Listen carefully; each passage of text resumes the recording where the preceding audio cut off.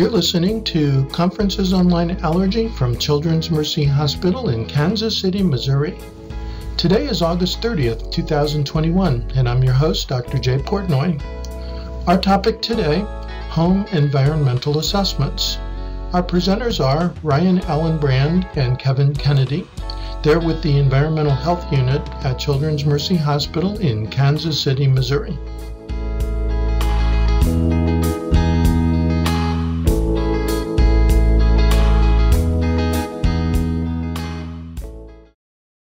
So welcome everyone to COLA. Today is August 30th. Um, and today we have both Kevin Kennedy and Ryan Allenbrand here with us um, speaking on environmental um, health assessments in the home for asthma patients. Um, Kevin Kennedy is the director of the Environmental Health Program. Um, and uh, Ryan Allenbrand um, is the um, Healthy Home Program Manager and Environmental Hygienist. The Environmental Health Program at Children's Mercy is a nationally recognized program that provides environmental ha- health consulting, patient case management, research, education, training, and analytical services. Um, and the team aims to, uh, to help improve and ad- advocate for the health of individuals with environmentally triggered illnesses. All right, we'll turn the time over to you. Uh, I think Ryan's going to go first, and they'll be kind of switching back and forth. It's true. Thank you very much. Very honored to be here. I'm uh, I'm Kevin, the guy with the longer longer beard. Ha ha. Um, so I, I, too am an environmental hygienist. Uh, along with Ryan, we uh, we have both been here for a while and had the good fortune of working for Children's Mercy and uh, working to help patients. So thank you. Ryan, go ahead. So um, th these are the uh, the folks in our environmental health program. As you can see, we've been uh, uh, uh a program uh, and a, a, program since 2001. We've actually been going into homes since uh, the mid 90s, and we we have on staff right now uh, three environmental hygienists. Anita DiDonna is our uh, health coordinator. She's also a, an asthma educator and a clinical research coordinator. So she's often going to be the one that you uh, might be in touch with initially that when we get referrals uh, either from the hospital or, or anywhere in the community or the region, and there'll be we'll talk more about that. Uh, she would be the one that might be the initial point of contact and, and be able to follow up with you. Uh, Dr. Friedman uh, is our medical director, director of the PEHSU, a Pediatric Environmental Health Specialty Unit. We'll mention that here in a second, and uh, we work closely with her. Uh, should I just go ahead and take control of the slides at this point, Ryan? So uh, because we've been in existence since 2001, uh, we have been in thousands of homes. We have uh, developed a routine process. We are uh, somewhat unique uh, in the country in that as a health system, we do use environmental hygienists for visiting homes. We have published on the value of that, but uh, in essence, the value is to we send a person with environmental science professional background and knowledge, building science professional background and knowledge, uh, and specific training in uh, environmental assessment. That person goes with a health educator or health coordinator or uh, maybe a nurse case manager, respiratory therapist.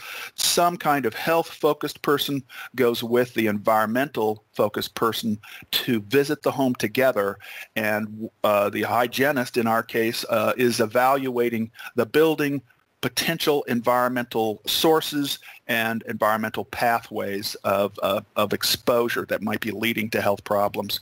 We work with a wide array of, of uh, patients and uh, disease states. We take referrals from across uh, all aspects of, of our institution as well as from across the community uh, and then um, provide a similar kind of service partly focused on uh, the type of disease and severity of the disease that a patient might have.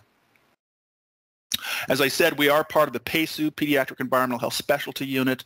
There's one of these for every EPA region in the United States. It is specific funding from Agency for Toxic Substance and Disease Registry and EPA to fund both clinical uh, technical consultant for any provider within the region. Uh, Dr. Friedman is our expert and uh, would be the advisor on environmental exposures.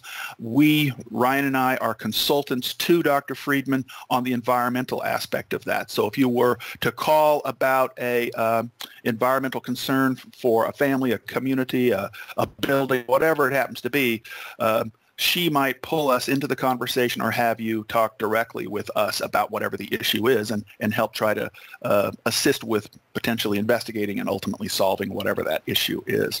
Uh, again, um, that is provided throughout the region. So just a quick review. Um, for the 2007 guidelines, there was a specific focus on uh, environment for the first time.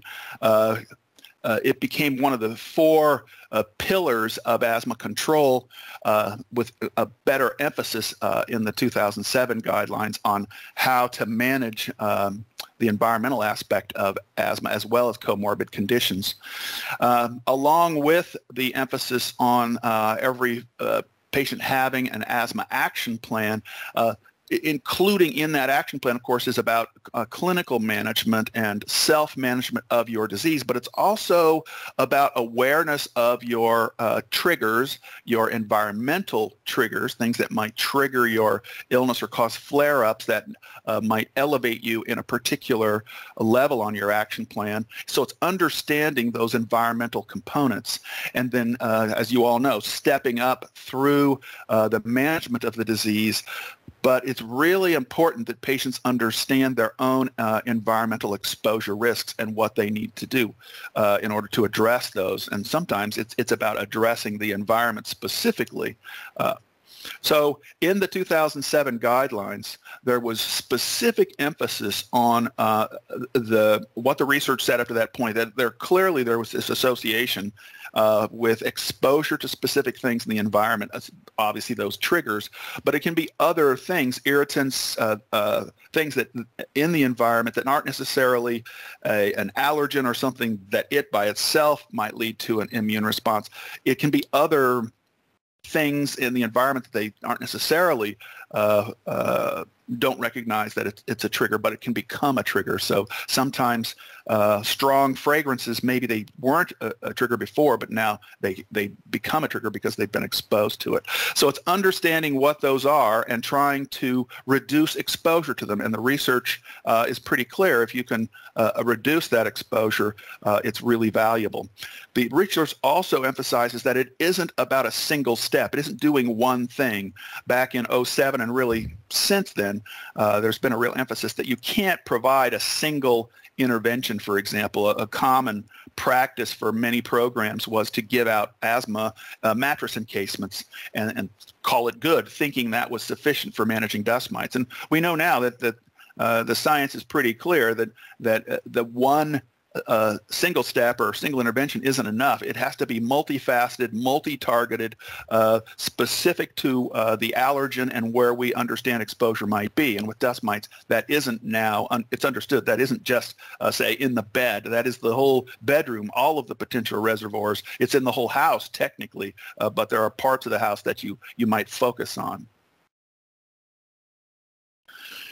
So it's this multifaceted educational service provided in the home, and it's a combination of teaching uh, or enhancing or facilitating or reinforcing self-management, what they learned in the clinic, uh, reinforcing, confirming, did you get an action plan? Let's walk through your plan. How, do you understand how to use your medications? Do you understand what a spacer is and how to use it effectively? Do you have one? Where do you keep the medicines at the home? So it's a whole process of understanding the self-management.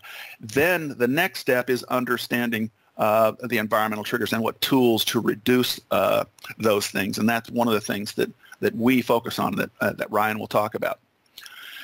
But this is an, uh, a nice uh, triangle of epidemiology for healthy homes to show this relationship between uh, the home environment, the home as environment, and the contaminants and reservoirs that exist there, the agents that might exist in that environment that are uh, the things that um, might uh, lead to a flare-up of asthma and ultimately uh, the patient themselves being the, the host or occupant uh, in a classic epidemiologic triangle. The transport mechanisms common to epidemiology are vectors and fomites, and here we're showing uh, what some of those common vectors are, and then things in the home that uh, represent fomites, the inanimate pathways that are the, the air, the dust, the floors, all the stuff in the that they are exposed to directly that that is settled on top of things or is in the air aerosolized and being distributed around. In this triangle, we also put some emphasis on the facilitative factors, the things that can uh, allow the allergens and irritants to amplify in the home. And then we also uh, describe and put some emphasis on the exposure reduction methods, the things that, that combined together can help address uh, what these issues are in homes. I want to put some emphasis on certain uh, uh, contaminants and irritants in the home that that uh, you've certainly heard about, but there's some uh, newer science, uh, clearer science about several of these, and I wanted to emphasize that. This is a nice summary table from uh, a review done by Mark Mendell and Associates clear back in 2011, but it shows an important linkage between dampness and microbial agents in homes.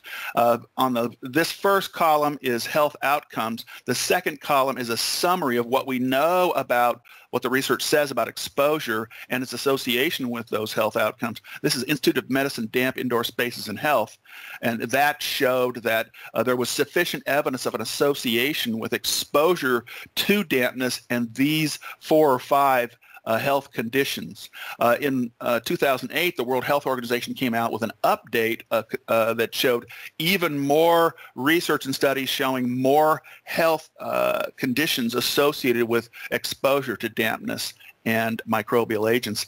And then in Mendell's review in 2011, uh, with additional evidence, you can see the, uh, the number of health symptoms that are now uh, known to be associated with living in chronically damp conditions. I want to point out that starting in 2008 and confirmed in 2011 and confirmed uh, even more subsequently, uh, there's a strong association, uh, now considered a causal association, between living in chronically damp conditions and the development of asthma. Uh, that's a, a, a key uh, summary of what the research has shown up to this point. And this matters when talking with your patients because there's now credible research about a causal relationship between living in damp conditions and asthma in previously unaffected occupants.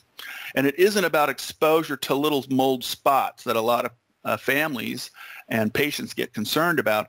It's about living with chronically damp conditions that result in pretty extensive uh, uh, water damage, and then that results in uh, mold colonization, microbial proliferation, and actually uh, one theory then is the microecology. You're all familiar now with biomes in the built environment, but the, the biome of a damp building has been uh, there's a selective advantage for those agents that are not healthy for people. Uh, if you add water uh, to the space, you're providing a competitive advantage to bad uh, microbes, uh, bacteria, and of course the molds. And these things then thrive, and people are being exposed to those agents over time. And it, it clearly leads to significant health problems. And now many cognizant authorities have put out policy documents that say moisture in buildings should be um, addressed within uh, 48 hours to try to manage it as quickly as possible. And routinely what we see uh, is significant moisture problems that have not been addressed and people are being exposed to it. The other thing that's changed a lot is uh, our understanding of indoor chemistry. There's a tremendous amount of new science out in the last five years, but really um, even more recently, uh, several focused studies uh, where they're using um, a whole lot of advanced uh, air monitoring equipment on indoor environments to really look at and understand the chemical relationships. And it isn't simply about the products people might spray in the air. It is about the combination of those products being used, reacting with uh, the surface products, furniture, carpeting, uh, vinyl flooring, whatever it is, there's a reaction there that produces other products. And then whatever's in the household dust uh, can be a buildup of chemicals. So we now understand there's some 30,000 different chemicals in indoor dust, but only about 280 or so that have been accurately identified and uh, been potentially associated with uh, a health problem. So you're going to see lots of new science about this. Uh, this, this kind of exposure has been going on for about the last four decades. Uh, in first world countries in particular, all these modern building materials are made from this wide array of chemicals, and we're now just starting to understand what people are actually being exposed to. And it isn't just being exposed to it in the air, breathing it, it's also being exposed to it on surfaces, and it's our impact on that as the occupants of a building. And this is just to show you very quickly, 33 of those chemicals and studied in household dust represent these specific types of health problems. So they, they have uh, neurological effects, respiratory effects. They accumulate. They have uh, digestive effects, Im- immunological effects, a whole host of effects. And people are being exposed to these on a daily basis in the accumulated dust in their home. And we really don't have a good sense of how much uh, uh, of these chemicals are in individual homes. We just know from the studies that have been done, they appear to be in every home. And the monitoring that is done by uh, the CDC of blood and urine shows that uh, the vast majority of people in the United States have traces of this in their blood and urine. So we know people are being exposed uh, and that's going to be a, a, significant risk to be concerned about. We also know that third-hand smoke is clearly an exposure risk in homes where maybe someone has smoked and stopped smoking. You have the chemicals from environmental tobacco smoke or secondhand smoke that have absorbed into the surfaces and clearly are there for long periods of time, and people are being exposed to these uh, residues that actually, as the house eats up, heats up, they can be re-off-gassed back into the environment where people people are being exposed to them again. And in this study by DeCarlo and others, they did a, a specific chamber study to look at the specific mechanisms for how these uh, uh, uh, semi-volatile chemicals from uh, tobacco residues are revolatilized and then how they actually interact both with the surface and surface chemistry, whatever's on the surface, and uh, react with uh, furniture and other things uh, in the room. So uh, it's worth reading. But the, the overall key point here is that uh, people are uh, dealing with a, a, long-term exposure to the chemicals from smoke. It isn't simply about that immediate environmental smoke in the air. I want to put a, a, another emphasis on uh, the new uh, or newer science related to PM 2.5 or 2.5 micron particles and smaller. This is the inhalable fraction, and uh, there's a lot of new science on that. This also recognizing that there's a large amount of fine and ultrafine particulate in homes that is generated from our activities and represents now the EPA says one of the top five health threats for all people, but in particular particularly those with respiratory distress, uh, this is a real significant concern. So that, that is uh, moisture, chemicals, and particles are really our areas now of emphasis as far as indoor exposure. And uh, there's a lot of, of new science out on some of this. And what we we understand is that people are exposed to these uh, settled dust and particles. The breathable fraction is the majority of what's there. People can't see it. It's what they breathe. And it gets kicked up into the air constantly through our human activity. Uh, uh, this uh, and Farrow uh, article looked specifically at and monitored as people did daily routine and daily activities and just showed uh, the process of routine activities uh, kicks a wide array of particles into the air that then people are exposed to. And um, uh, Ryan has measured uh, across uh, hundreds of homes now. We measure uh, particles in the indoor environment at different size ranges, and we have shown a statistically significant difference between what is in the child's breathing zone and what's in the adult's breathing zone. We've also shown if you go into that environment, like a kid's bedroom, and measure particles in the air, you get one value, and then if you go around and literally pat the surfaces, like a child playing in the room, or or disturb the surfaces, you re-aerosolize a large portion of those particles, and there's again a statistically significant difference in the air concentration of fine, ultrafine particles before and after disturbance. So you might go into a space, uh, an adult, a, a a parent might go into the space and think, oh, this is in pretty good shape. But if the kid goes in and plays on all the surfaces, they've now created an exposure zone for themselves. So cleaning and the reducing of particles and chemicals in the house is really important. It isn't just about uh, minimizing the, the allergen reservoirs. That, that routine cleaning becomes uh, essential in trying to reduce all of that breathable fraction. Uh, just a quick touch on um, some of the latest review of the literature related indoor exposures and exacerbation of asthma.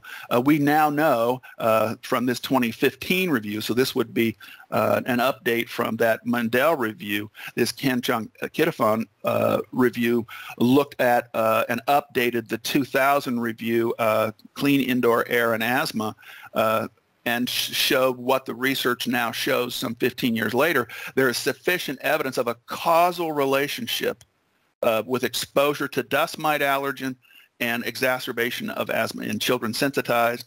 Uh, there's a causal relationship between cat allergen exposure and exacerbation of asthma, cockroach allergen exacerbation of asthma, sufficient evidence of a causal association, slightly less evidence but still significance related to dampness and dampness related agents and exacerbation of asthma, and outdoor uh, fungal exposure and asthma.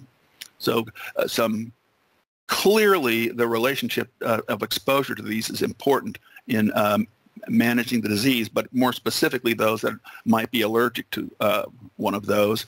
And then there's sufficient evidence of association I think you all know this, related to environmental tobacco smoke exposure. We know it's uh, now third-hand smoke makes that even more significant. Endotoxin, which is a byproduct of indoor bacteria, that's that chronic dampness and how it changes the microecology of a home.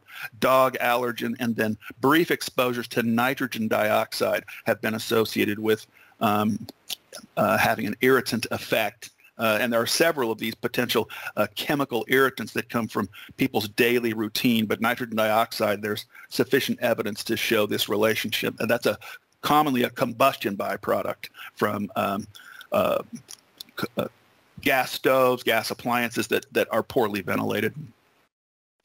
Uh, I want to point out that there there is a this review from the National Governors Association that shows the value of home visits, uh, that it, it's, these are the keys to uh, successful self-management of asthma. It's, it's self-management education, and then where needed, home visits for uh, those that are not controlled through other routine strategies. So our governors are telling us uh, we need to fund these. We should be doing these things. Uh, the investment in uh, self-management education home visits pays for itself, and there's quite a bit of literature to support that.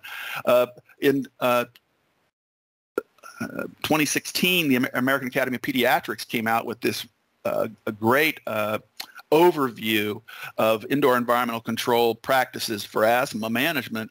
And uh, the press described it as uh, clean indoor air being as important as medications in controlling asthma because it fundamentally showed that by reducing exposure and the key here, matching the interventions, the home interventions to a child's IgE or and skin allergy tests, uh, you see a significant reduction in uh, symptoms to the point where uh, it's as efficacious as uh, putting them on certain medications because you're eliminating exposure. They're not being exposed to these things. Uh, they're not uh, seeing flare-ups or they're not seeing an immune response.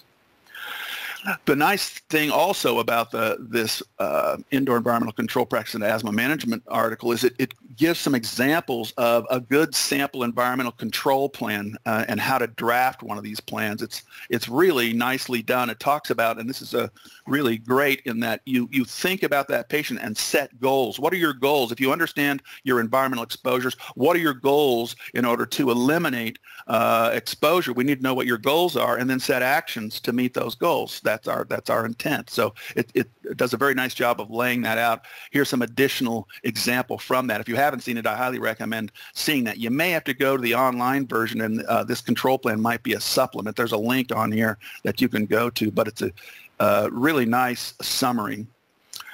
Uh, you are also aware that they, of course, updated the asthma guidelines uh, in 2020, and in that update, there were some interesting changes uh, related to environmental intervention.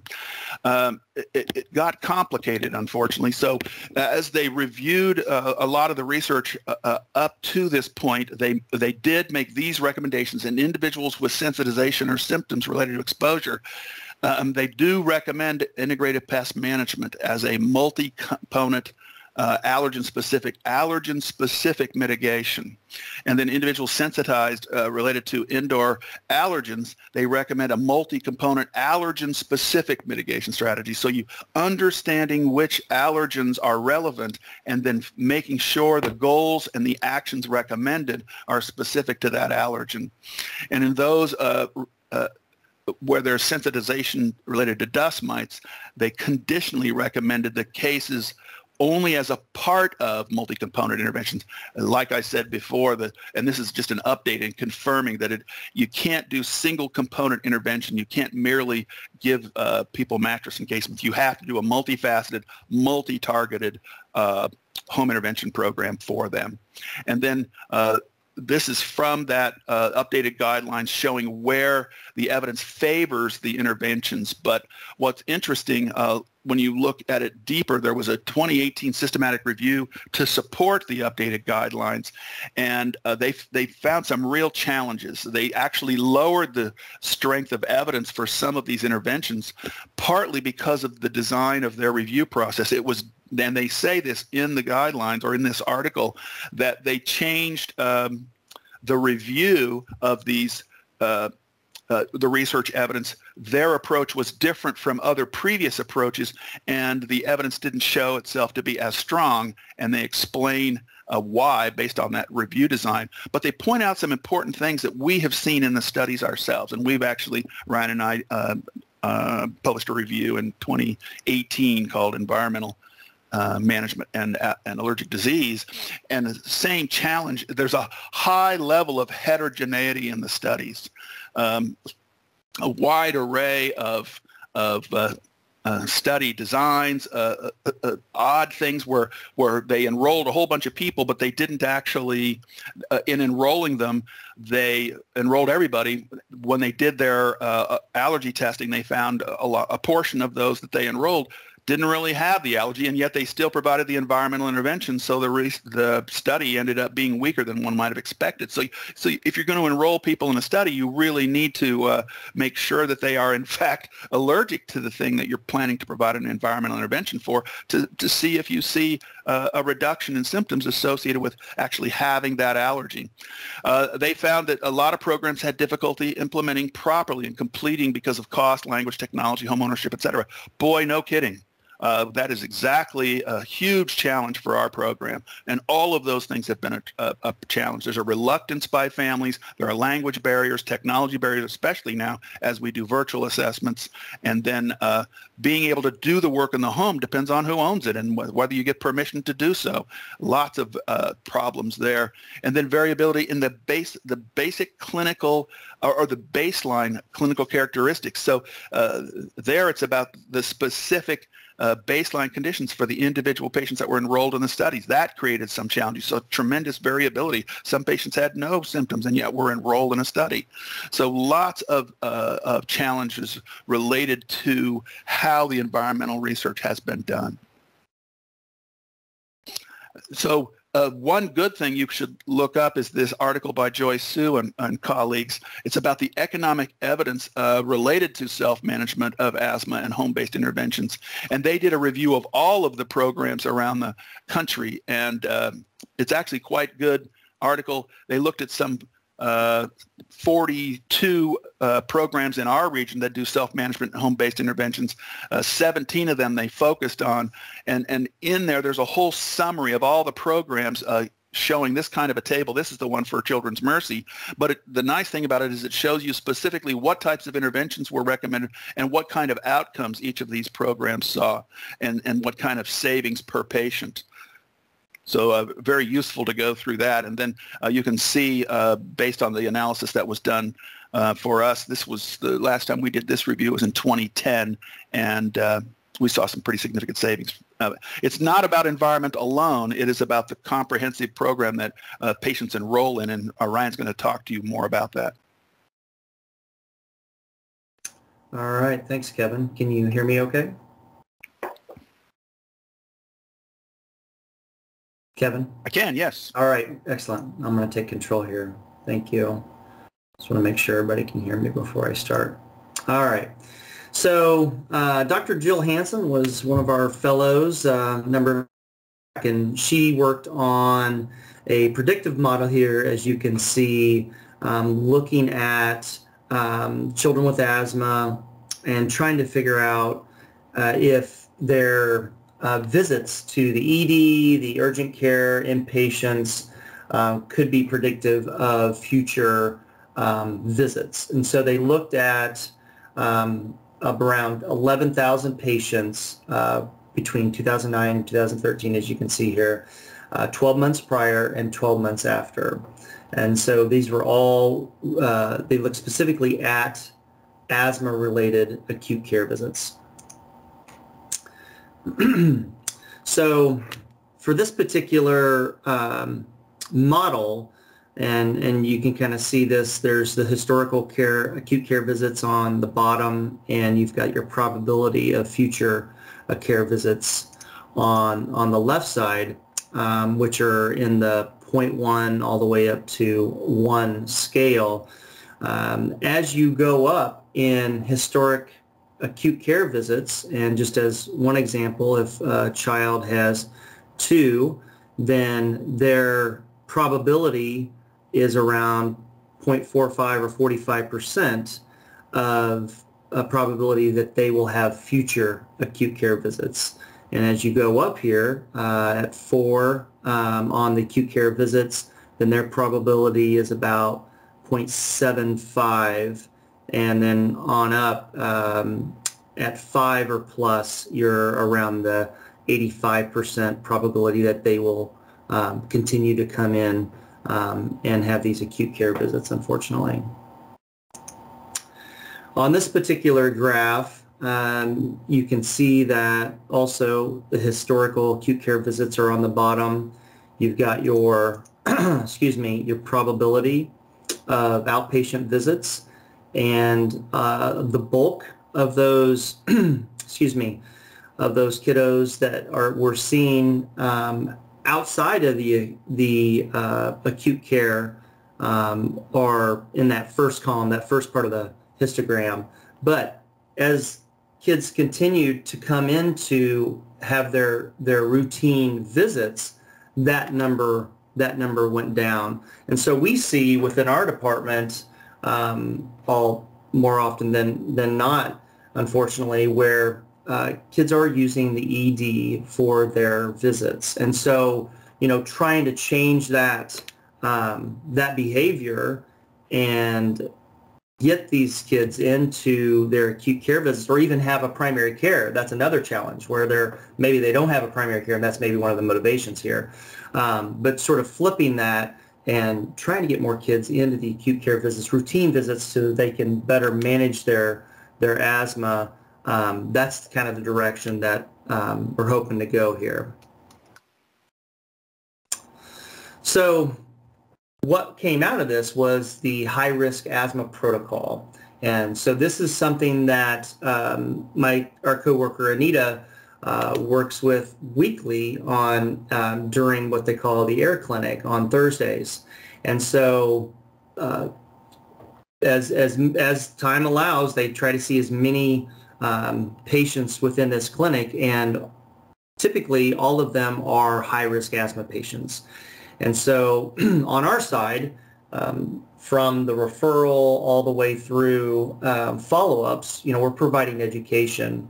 Um, that's part of, and I'm sure that's part of all, you know, all the providers uh, that may be on the call today of what, what you see as well. And so trying to provide them um, those, you know, maybe the, the ACT score, the plans for better management, managing their their asthma along the way. And, and we'll talk a little bit more about asthma control tests, but we find that, you know, a lot of kids don't even have that or um, have been exposed to that for whatever reason. So um, with what, what we do with the high-risk asthma protocol or patients, um, we also try to connect them with other groups like listed here, like social work or um, other groups within our, our hospital system or even outside our system depending on what their what their needs are. Um, but we also provide a, um, a consistent and, uh, link between us and the the referral or the provider as well to provide that feedback back to um, to that physician about their patient and how they're doing. So our our awesome asthma educators here, uh, Casey and Helen, um, doing their thing in in the hospital uh, providing uh, a class to a lot of those families that are coming out of inpatient care. And so um, it's we see where that education um, really needs to be continued as as we get those referrals. We learn that the families have been through this class. Maybe some of them haven't for whatever reason. For whatever reason, excuse me. Um, but you know, some families really do need that continued work and and Casey and Helen have been great uh, and been on a lot of calls with us over the years, um, even within the last year on a lot of virtual visits that we've done. So as part of the referral process, um, this is an example of what our uh, process looks like internally. And so, and I could send this, these instructions and, and these screenshots shots to you as well if, if, if you would like after the call. But um, it's pretty straightforward where the provider would go into uh, Fred and order a um, environmental health referral um, based off of, of what those those needs are of the patient um, health-wise or environment or both. So um, you all may be familiar with this, the asthma control test. And so this is something that we uh, continually talk to the patients about, asthma patients, the families about, um, and what that looks like in the last six months, the last year. Uh, Anita does a lot of research uh, after she gets the referral on the patient to see what that health utilization looks like. And as Kevin mentioned, there's a lot of, of, of what we've done in the past is, is look at this data and and try to you know make sense of it and, and write some papers on it over over time and so we just we try to get a good uh, feel of what um, where the the patient is at the time of the referral and kind of where we need to go from there and, and what maybe what those goals are in the future um, Another survey that we use and that we developed a number of years back is called the Tell Us About Your Home. And so it's a very short survey that we go over the phone with uh, with the family. It's in REDCap, so we can send it to them if needed. And so it, it really uh, looks at um, potential exposure to certain things in the home over time.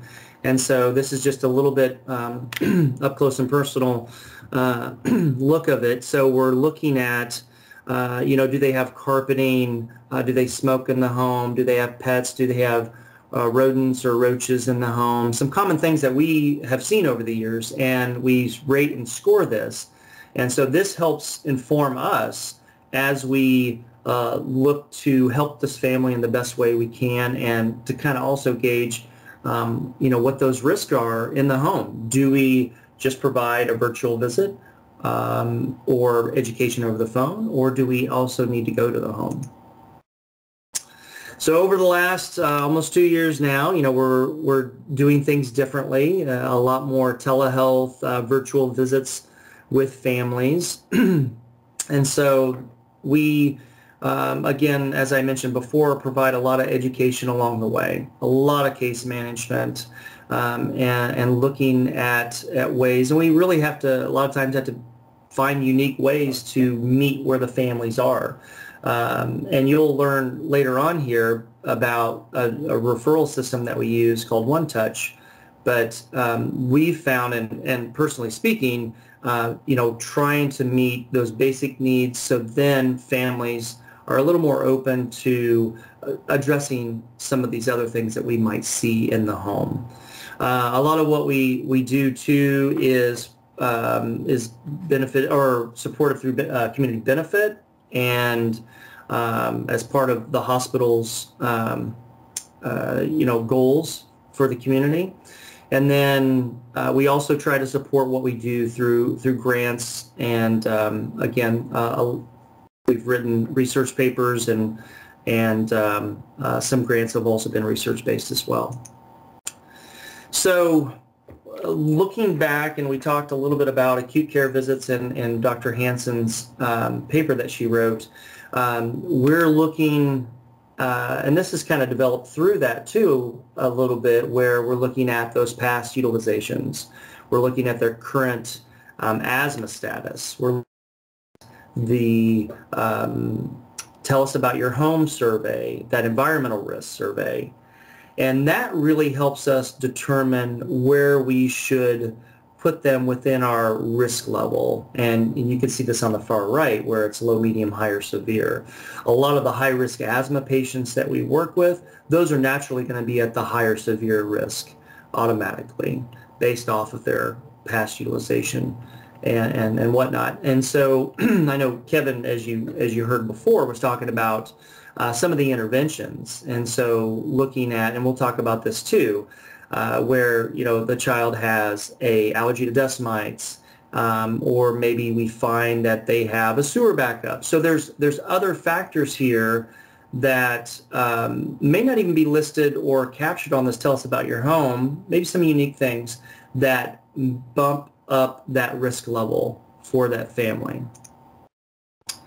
So as we look to stratify those families from one to four, being four the higher risk, uh, and we've seen this over time where most of our patients, we are about 70% or so, are falling within that low medium risk category. And so in the past and, and really in the future, we're we're trying to find uh, ways where we're working with community health workers to deliver those services for those or doing the visit for those low risk patients um, and that frees Anita and I up to do some of the more higher severe risk patients uh, visits. Um, so when we do these visits and have done these visits over time, um, each risk level is getting a, a visit, a virtual uh, assessment, a visual assessment, if you will, um, provided education, tailored education um, to really hopefully meet those needs of, of those families um, and, and what their what those challenges are. And then also providing feedback back to those families on what they what they can do to help improve those conditions in the home um, and then continued follow-up. Now, as we look at the higher severe risk patients, as you see here at the, the closer to the bottom here, the 30%, uh, maybe we need to do a more deeper dive into what's going on in the environment, better characterize the environment, which may uh, um, we may need to go to the home to do an in-person visit, to do take our Ghostbuster equipment and uh, assess for particles and contaminants as, as uh, Kevin mentioned earlier. And a lot of, of what we've done before, obviously, a lot more uh, in-person meetings before, where uh, we look to review the cases that come in to our department. And so Anita and I work closely and have worked closely uh, together for the last 14 plus years on a lot of these cases. And so um, we have gotten a bigger group together in the past, uh, social workers or uh, legal aid, um, outside organizations as if they were part of a grant program sort of managing minor home repair. Uh, but we, we really try to get additional input on what's best for this family. Um, does the family need just education over the phone? Because uh, we may get a referral that's no, there's no health conditions. It's just basic um, concerns, um, you know, environmental concerns in the home. Um, but later on, we might find, as as we continue to work with the, the family, there may be some additional um, challenges that that they need help with. so after COVID, you know, we're doing a lot of a lot of our visits and meetings online, um, but still providing uh, education along the way and virtual home visits, or in, I've done some in-person visits as well. So this is an example of a timeline that we that we use uh, with our lower risk asthma patients. And so what we found over time uh, with this multi-touch model is we continue to keep the families engaged. They stay engaged. Continue with that uh, communication um, sometimes it's hard, you know, prepaid phones, uh, can't get in touch with them one week, uh, you know, and the next month we can finally get in touch with them. Families that prefer email versus, compared to phone calls, we, we see that sometimes. Or they don't have email or they don't have technology. So we try to meet the families where they are um, uh, as, as needed. And then doing follow-ups, doing uh, asthma control tests every 30 days as, as we work with the families to kind of see what engage what where they are. Have they made changes in the home? So with the lower risk, we're working with these families up to about four months. Um, with higher severe risk asthmatics, then that's as you may uh, naturally uh, suspect, that's going to be a little bit further out because their health is a little more complicated or a lot more complicated or their environment complicated to put them at that higher risk. And so six months um, maybe even longer, we're working with these families. And again, asking those environmental questions uh, and health questions along the way to see what their utilization looks like and see what their environment um, continues to look like over time. Because some families just need a little bit more hand-holding. This is an example of that, uh, of our multi-touch model. Uh, we're happy to share forms if you want to see a little more in depth of what that looks like. But um, this is something that we've we've had for a long time, and we've we've really gotten it down on paper now to um, to uh, even since COVID, because we were building that virtual model since COVID, and this really lays it out nicely what that what those touches look like from the referral, calling to the family, all the way up to that fifth visit or so. And again, we may need some more visits depending on on what the severity looks like for those those kiddos. Um, so continuing to talk about that multi-touch, so the phone visit um, and, you know, sort of introduction. Why are you calling? a lot of families do know why we're calling. They, they've been informed about the referrals. Some of them have not. Some of them have just gotten out of the hospital and are not ready for us right? And so we, uh, and that's that doesn't happen a lot, but it does happen, and and so we have to have to give them the space to kind of get settled back into the home and, and kind of go from there to and again meet them where they are and just let them know that we're here as a resource and uh, when they're ready to talk and and want some additional help well, you know we're there. And so we provide a lot of education but again a lot of tailor educated education along the way to hopefully uh, address some of these triggers in the home um, and maybe for the first time, and and you know that they're learning about you know what what are triggers? I don't quite understand. And so as Kevin mentioned, there are some challenges with language barriers. Luckily, we have access to interpreters. We've used them for uh, a number of years now in the home or even virtually. And so um, that's something that we can we can get. I can get an interpreter pretty quickly if if I need it to call uh, call a family, which has been really helpful. So as we continue with, and this is an example of our virtual assessment process, um, and really for um, for our program, that's kind of where we're we're continuing. And so, any family that comes into uh, as a referral, we're going to start with this process, and as we find that the need is is much greater, where um, they may need an in-person visit because of the environment or the child's health, then you know we we make that call um, as you know case by case. so as an example of our, our second touch or virtual assessment, um, a lot of what we're doing is just following the family's lead, taking us around the home with their phones and uh, showing us those uh, main issues, uh, concerns that they have, but also looking at other issues. One thing that to mention on this is what I've found is um, that really kind of gives the, the family a different perspective of what their home looks like. Um, in the, you know, going back two years or longer, you know, we go into a home, we do a walkthrough, and that's that's it. There's some education a little bit along the way, but this really gets them thinking a, a lot more about the home, looking at the furnace and all that. Um, keep moving here. So the visit that we would do would be the, the the healthy home advisory plan. We used to call it report delivery. We're you know evolving. Um, so we're providing them advice. That's what we're doing on what was good, uh, what we recommend. These are the, the goals or the steps that um, we would like to see you take. If you need additional help, um, that's where the one-touch survey comes in, into play possibly. Or maybe there's, again, some grant that we can help um, provide some additional assistance on. Uh, speaking of interventions, uh, this is a Healthy Home Kit example of what we've provided to families in the past or currently, uh, depending on what their needs are. a lot of families are sweeping. They don't have vacuums. So um, the importance of providing uh, multifaceted, as Kevin mentioned, a multifaceted approach to addressing some of these issues in the home, a vacuum, allergen covers, furnace filters, cleaning supplies, all these things are, are potentially going to go a long way to helping um, reduce or maybe even potentially remove some of these triggers in the home for the family. Continuing on with the multi-touch model, doing follow-up calls or emails depending on what's preferred by the family, kind of a check-in to see how they're doing. Um, and depending on what their risk level is, we're going to continue that follow-up call.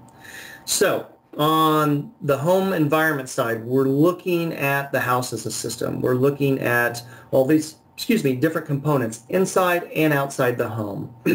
looking at the mechanical system, looking at the appliances, the safety parts of this of the home. As Kevin mentioned, you know, a lot of of uh, the newer research and what's being suggested, you know, the chemicals in the home, the particles. Go ahead.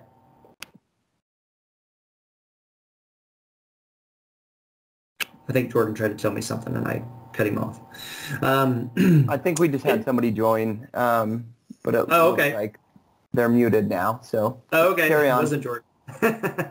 so uh, all these are potential um, exposures in the home. So we look at uh, smoke alarms. We do they have a gas stove? Do they have a vent?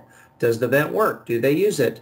Um, where's their water heater? What does it look like? Uh, what's my water heater? So there's you know, again, sort of uh, training these families, like looking at their homes differently, and what are these potential concerns that are potentially serious to life and health in the home? Because we've seen it where these electrical boxes are open and exposed, and potentially anybody could, you know, uh, be exposed to that. So we talked to families about the keep it principles, keep it dry, keep it clean. You can, I'm not going to read all these, but um, you kind of get the gist here. Uh, all these are interconnected. So I talked about the house as a system. A lot of what goes on outside can affect the inside of the home. Same thing here. A lot of what uh, you know if there's a, a, you know moisture that that can attract pests that could cause mold or bacteria to grow um, but this this these are components or principles that we look at as we evaluate or assess a home. And this is an example of a, a, a form that we use as we rate and score um, our assessment process. So we're, we're looking at these potential exposures to fragrances um, that we may know before we even go out to the home virtually or in person.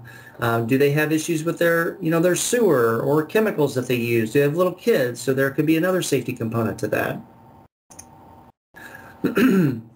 a, lot of this too could be connected with maintenance and families that we work with they don't always own their home and so another sort of uh, you know challenge with working with landlords and and addressing some of these things but part of that too is maybe behavior related and so again we want to mention what was good in the home and and how do we how do we frame it in a way where we're not just, we want them to get rid of all their supplies. We want to provide them options so they can feel like, oh, you know, these these guys aren't too bad.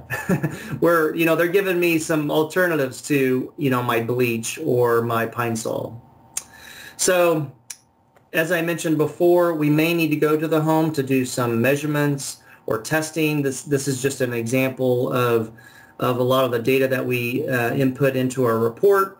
Um, and and we color code it and we rate it and and score it what was good okay or concern and then we provide that feedback back to the family i don't know if we have time for this but um, this is you know you guys can look at this later but uh, you know look at even look at your own home and see you know what looks different or you know how do does this look okay you know compared to this to this room so um, you know, I think you may look at your homes a little bit differently after this this talk today if you haven't already.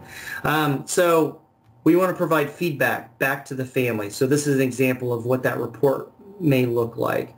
Looking at individual rooms, providing them again um, a step-by-step um, way to help address low cost or no cost ways to help address some of these issues or these risks or hazards in the home.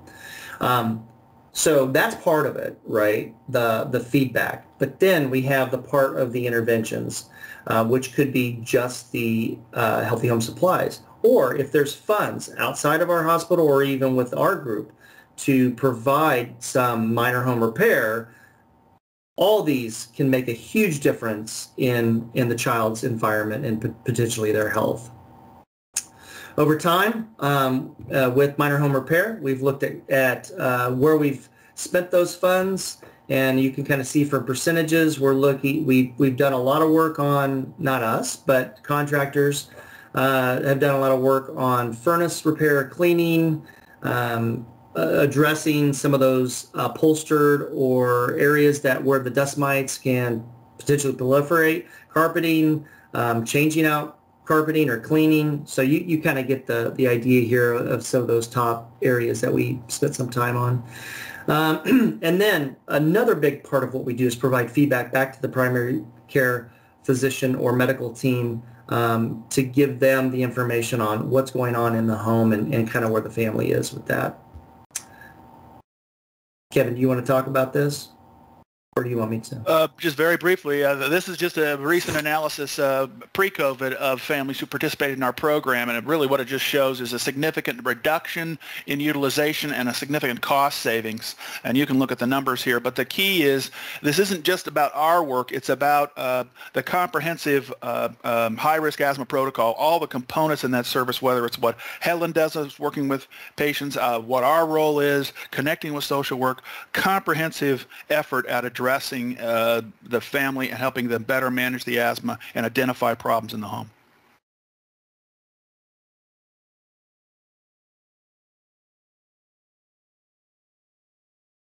The emphasis here was just that um, uh, people don't always do what you ask them to do. And this was a paper that uh, Dr. Portnoy and uh, Reuben Cater, one of the fellows, and I uh, did a couple years ago that just looked at specifically what people were willing to do and uh, their likely adherence to what they had said they would do. And in a lot of cases, it was fairly low. It just depends on what they're being asked to do and their, A, their understanding of it, and then their willingness to do it.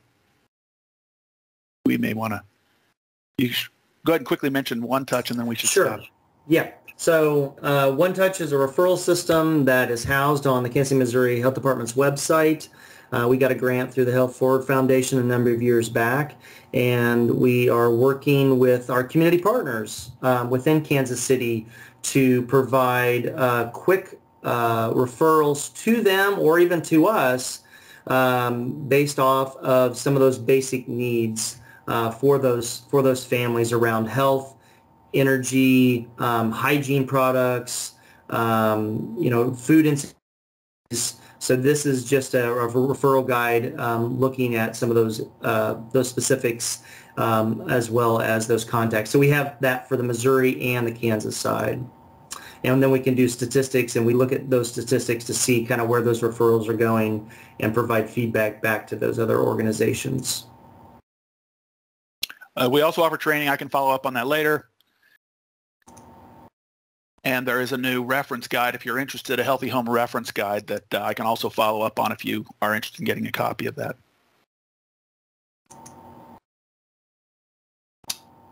Thank you all. All right. Thank you, Ryan and Kevin. We appreciate it. Um, and we are out of time, but it looks like you uh, so kindly put your email addresses there. Um, so if anybody has uh, questions, um, I know that you guys would be okay with them reaching out via email. Yeah, absolutely, anytime. Please email us about anything. Thank sure. you so much Sounds for being great. here. Yeah, sounds like you guys have really increased the program. Congratulations. Doing a great job.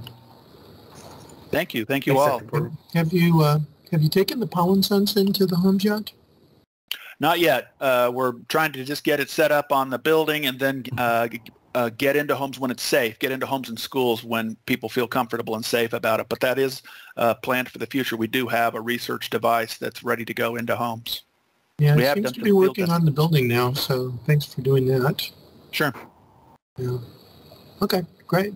Thank you. Thank, Thank you, all. all. Bye-bye. Bye. Thanks.